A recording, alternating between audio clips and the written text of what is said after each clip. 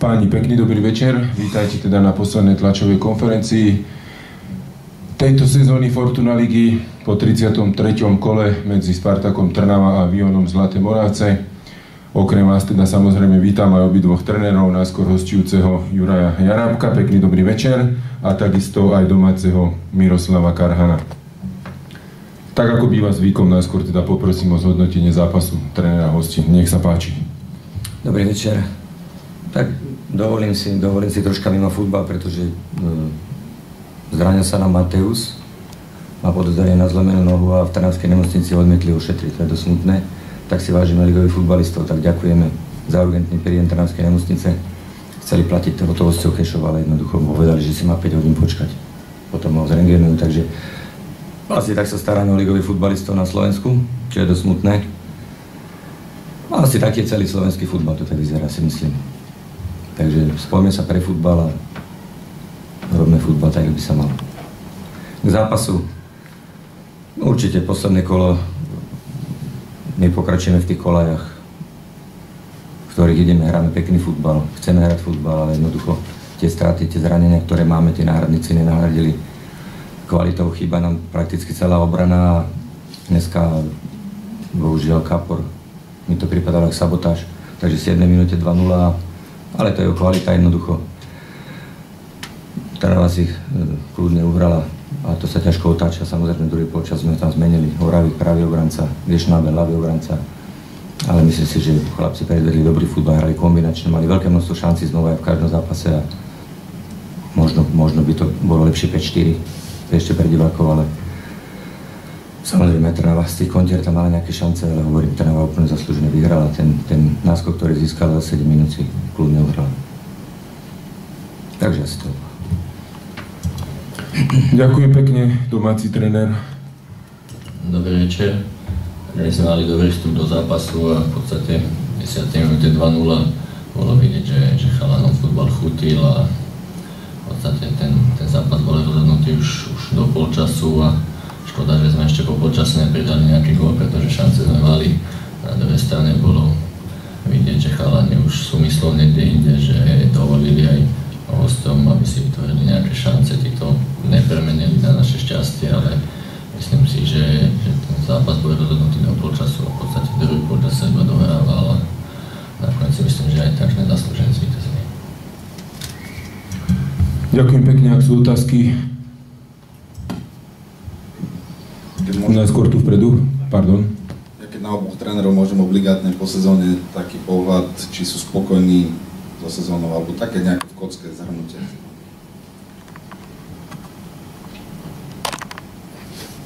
Tak my spokojní byť nemôžeme. Jednoducho tá liga bola, aká bola. Chceli sme určite výsledkovať lepšie, ale mústvo, masový vývoj určite, určite potrebujeme priniesť kvalitu, či sa nám to podarí, uvidíme v lete pretože ja si myslím, že tí chalani chcú, hrajú, ale, ale niektorí naozaj nesplňajú e, kvalitu požiadavky prvej ligy. A hlavne teda, keď prídu zranenia, potom Slovan ešte do toho to bolo dobré a tam, tam sa nám zranil Bosora, postupne Karlík a jednoducho mm, je to, je to, nedajú sa nahradiť. Nemôžeme si tých hráčov sa z prsta. Ešte sme pomáhali Vráblom, takže, takže hovorím aj tam, je to veľký rozdiel, tretia, prvá liga, takže z toho pohľadu Lyon hrá pekný futbal, naozaj lepší futbal hra na jeseň, keď sme prišli, vtedy sme paradoxne vyhrávali, ale, ale super nás trestá vlastne z každej štandardnej situácie, z každej nejakej vážnej veci nás potrestá a my sa na strašne narobíme, takže, takže je to, je v futbale o chyba, ale robia ich, robia ich naozaj veľmi veľa. Takže určite s tými 7 bodmi není spokojnosť a je na nás, aby sme na budúci rok sa niekde, niekde posunuli.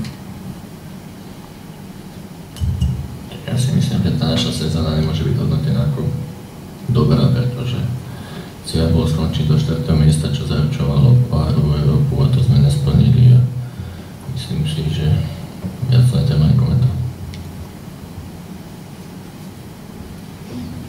Vzadu otázka RTVS na oboch eh, pánov trénerov. Chcem sa opýtať eh, pána Karhana, že či sa vie, že čo bude ďalej s ním, či vám ponúkli nejaké miesto v štruktúrach klubu, respektíve ako, ako ďalej s budúcnosťou a takisto pán Jarabek, či ostávate v Zlatých Moravciach, alebo šuška sa niečo o Ružomberku, alebo sú to len fámy, môžete vyvrátiť, respektíve potvrdiť. Ja z mojej pozície môžem povedať, že som nedostal žiadnu ponuku z klubu a myslím si, že, že ťažko len teraz niečo na to povedať. Čo sa týka mňa, tak ja myslím, že ostane vo Vione. Zatiaľ to vyzerá tak, že ostane vo Vione. Ja myslím, že tam sa robí vo veľmi skromných podmienkach, ale najlepších podmienkach asi na Slovensku. Tam majú hráči všetko.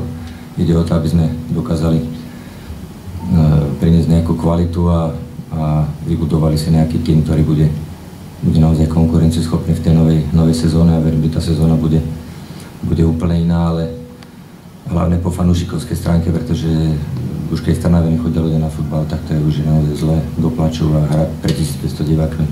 Včera na, na futbal Legend bolo možno 4000 a to svedčí o tom, že padá klubizmus, ľudia nemajú radi futbal, alebo, alebo sú zanevretí na majiteľov, na, ja neviem na čo všetko, jednoducho je zlá doba pre futbal u nás a, a keď nad týmto sa nezamyslíme a nebudeme podporovať tie svoje kluby, tak to bude zle. Jednoducho tí kluby musia z niečoho žiť a už keď nežijú aj z tých peniazí, čo tí fanúšikovia dávali, tak to je naozaj ťažko. Chceli by sme hráčov, chceli by sme jasne všetko, ale tá kvalita to proste není. Čo troška má kvalitu, odchádza do blízkeho zahraničia, už len Polsko, Maďarsko, kde sú 10-násobné platy a tie hráči jednoducho odídu. To je absolútny vývoj a tu sa môžete na, naučiť stavať a my sme zase prešli do problémov akadémie a tak ďalej. To je, keď som tu bol tréner, sa rozprávali šance, mladí, mladí nedostali šance. Teraz som ich narátal síce až pri konci nejakých odchovancov ale to je stále dokola, hovorím, keby Miro mal, tak ich určite vyťahne a dáva im šancu stále. Je to beh na dlhé trate a tráva chce kvalitu. To isté, každé mústvo a je to ťažké. Ale hovorím, tí fanúšikovia by sa nemali utočať chrbtom, to je môj názor. Nech sa páči. Miro, keď môžem, eh, ak by prišla ponuka či už od klubu alebo od majiteľa na ďalšiu spoluprácu, vieš si seba predstaviť v nejakej funkcii momentálne Spartaku? hovorím, nebudem toto komentovať, to je myslím si nezbytočné. Poviem to tak, že tie vzťahy tu v klube sú, není dobré, poviem to úplne otvorené, pretože prišiel človek, ktorý to, čo tu fungovalo, sa snaží rozbiť a bohužiaľ sa mu tu podarilo. Začalo to už na jeseň, keď mu vadilo, že Martin Rusnák s Majom, s Majom Perlovským chodia do reprezentácie, čo si myslím, že iné kluby by si vysoko vážili, že majú aspoň niekoľko v reprezentácii, keď tam majú futbalistu a ten, ten človek sa snažil to jednoducho rozbiť, hej, už počas jesene boli tieto problémy a, a neviem si predstaviť, že by som s ním ďalej spolupracoval, naozaj nie. Keď ja poviem prípravu hráčom a tí hráči vyjdú na chodbu a oni mi rozprávajú, čo majú hrať, tak si myslím, že to je chore a taký človek to nemá čo hľadať. Hej. A poviem ti ešte jednu vec, keby fungovalo to, čo zafungovalo tento mesiac, kde sa doplatili všetky dlhy, tak aj ten futbal by tu vypadal inak ale bez peniazy futbal robiť, to je presne to, čo Juro povedal, sa nedá. Chcete mať mužstvo, musíte investovať. Alebo vyťahnete mladých chalanov a dáte im čas. Ale bohužiaľ tu na to tak nefunguje, Juro to pozná podľa seba, bol tu takisto a je ťažké robiť futbal, hovorím, že a, a hlavne s takým človekom, ktorý vám povie, že on v decembri sa baví s nejakým novým trénerom.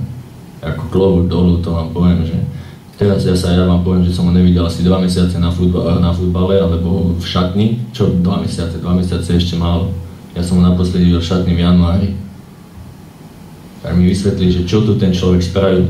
Ja sa pýtam, že čo spravil ten človek pre klub. Absolútne nič, bohužiaľ. A mám tu zradba, ja by som tu mal s ním dostať robiť? Neviem si to predstaviť. Ešte nejaká otázka? ešte k tomuto, že kedy vznikli tieto trenice, kedy to začalo? To začalo od prvého, od prvého momentu, pretože chalani si pýtali svoje premie, ktoré mali slúbené. Ten povedal, že nie, tí, čo sa ozvali, mali odísť z klubu. To sme nejako ustali, pretože naozaj to boli dvajanosní hráči a v podstate to pokračovalo. V zime som chalanov prehovoral, aby išli hrať prípravný zápas, pretože povedali, že nejdu, pretože že jednoducho nemajú svoje výplaty. Myslíš si, že sa dá robiť niečo? Máš nejaké páky ako trénera toto? Nemáš, bohužiaľ, čím sa im budeš vyhrážať pokutami, akými pokutami, veď oni nosili peniaze z domu, aby mohli chodiť na, na, na tréningy, požičiavali od rodičov a takéto veci a takto sa futbal nerobí, bohužiaľ, ale tu na tréningu to tak funguje. Potom ťažko môžeme niečo robiť. A poviem ďalšiu vec, ešte pikošku, nemôže prezident klubu poslať ponuku hráčovi alebo ponuku na hráča ďalšiemu hráčovi z kabíny na mail. To som ešte nezažil, to je absolútny amatérizmus. A takto to tu funguje už niekoľko rokov, preto je futbal tam, kde je. Ďakujem. Tak, asi týmto ukončíme túto tlačovú konferenciu. Ďakujem obom trénerom, uh, domácemu a hostujúcemu, takisto vám za účasť a teším sa v júli tu na štadióne Antona Valatinského. Dovidenia. Dovidenia.